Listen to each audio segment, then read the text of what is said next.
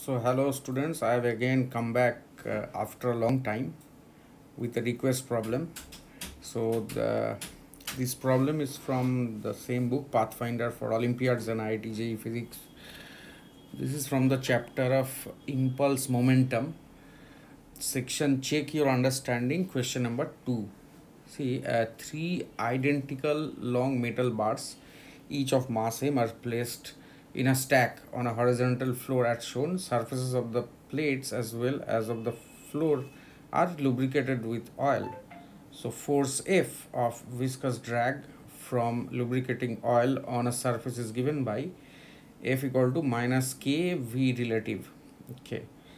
So where K is a positive constant and V relative is the velocity of the surface layer uh, uh, velocity of the surface relative to the other.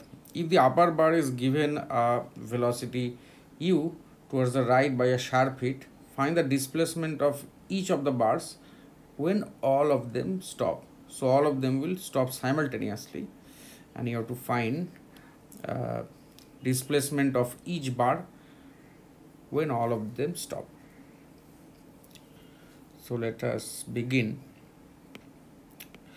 by uh, first we will assume uh, suppose uh, say let's name the bars the upper bar be 1 and say velocity of the upper bar is v1 and just below it's v2 and the lowest bar is v3 okay? So uh, v1 v2 and v3 vary with time and at last uh, when they stop then v1 v2 and v3 each will be equal to 0 when all of them will be equal to 0 now so let us analyze the force. So let's draw the upper bar. Let's draw one by one the bars. So this is uh, one. Uh, next one is two. And the next one is three. Now what are the viscous forces so what are the viscous forces? Let us see. Say on the upper bar so here viscous force will be uh, k times c if uh, v1 is greater. So then v1 minus v2 okay? See as it is uh, velocity of the layer relative to the other. So that is k into v1 minus v2 and on 2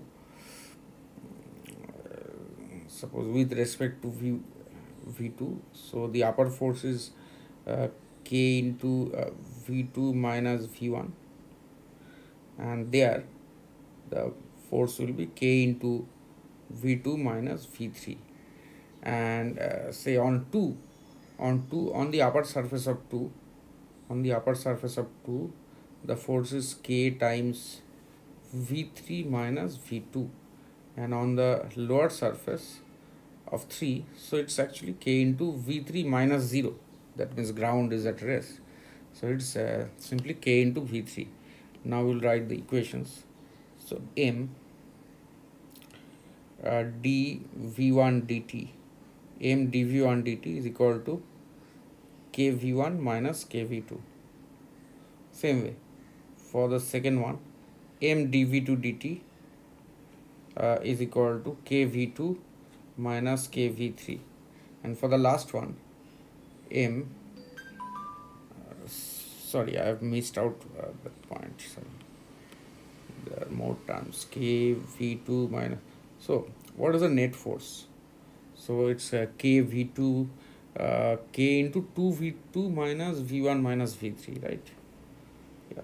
So it is k into uh, as you see 2v2 minus v1 minus v3 and on uh, 3 we can write m dv3 dt is equal to k into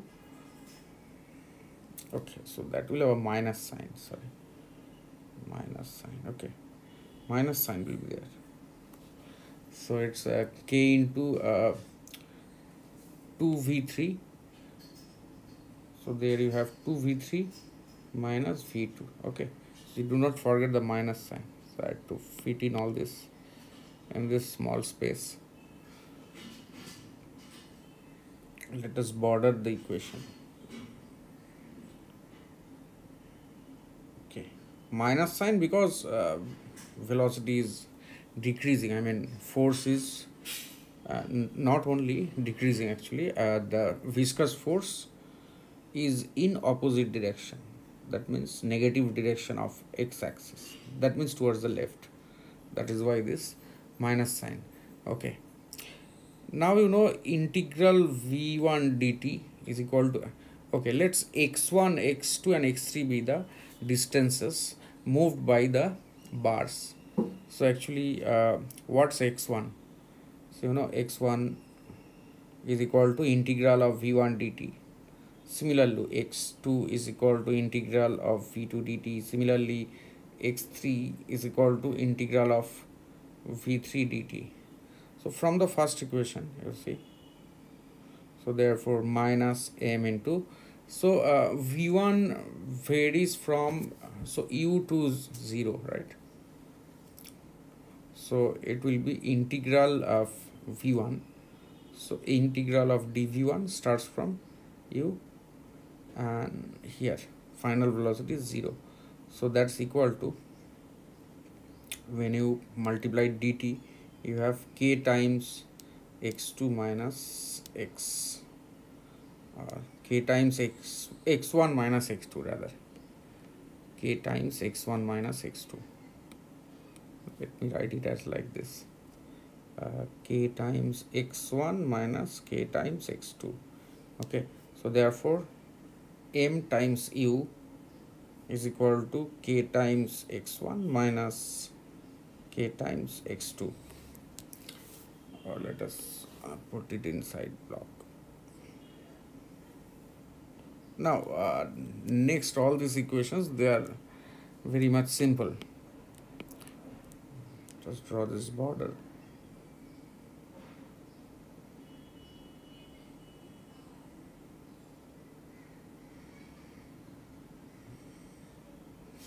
okay. Uh, next one. Say suppose we integrate uh, this minus m dv2 so what will you get? It starts from 0 and ends up at 0 okay. Because uh, v2 0 to 0 it starts and then stops. So therefore on the left hand side you have 0 so now have uh, this x2 2x2 equal to x1 plus x3.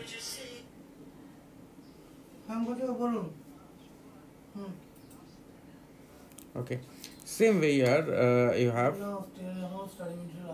2x3 is equal to x2. Okay. So these are the equations. So now, now. Uh, in the first equation you know 2x3 equal to x2 so let us put it here. Uh, this these two equations you can combine. These two equations you can combine so what will you get? Uh, say in terms of x1 in terms of x1 to get?